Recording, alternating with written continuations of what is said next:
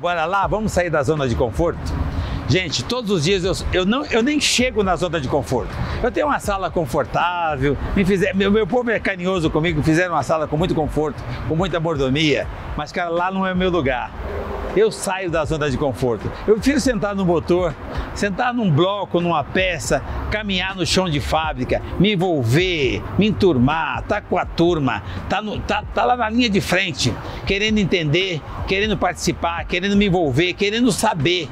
Cara, zona de conforto é para os fracos. Nós nascemos forte, nós nascemos rico e nós nascemos com sorte, com sucesso. Agora, se dá o primeiro passo, sai da zona de conforto e com certeza você vai conseguir atingir outros patamares. Você vai conseguir alcançar outros objetivos. Você vai conseguir para outra fase. Os tempos não são difíceis, os tempos são diferentes. É que tem muita gente ainda esperando na zona de conforto.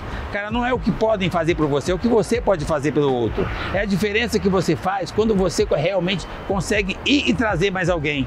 Quando você resolve ser protagonista, quando você não espere que ninguém faça aquilo que você sonha em fazer. Aqui, quem tá, quem, para quem está esperando e sonhando com alguém que vem para fazer diferença, cara, vai para o espelho, esse alguém é você.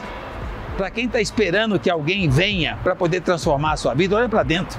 Quem tem poder para fazer isso é você. Então, cara, zona de conforto ninguém merece. Isso não foi feito para vencedor, você nasceu vencedor. Você conseguiu nascer isso é a melhor vitória que nós podemos ter. E hoje você teve o privilégio de mais um dia.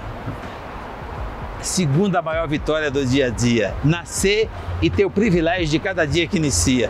Zona de conforto? Não. Você merece mais que isso. Você merece estar na linha de frente, sendo locomotiva, compartilhando, não subestimando quem vem depois achando que é vagão, montando time de locomotiva, fazendo diferença, impactando e somando na vida das pessoas.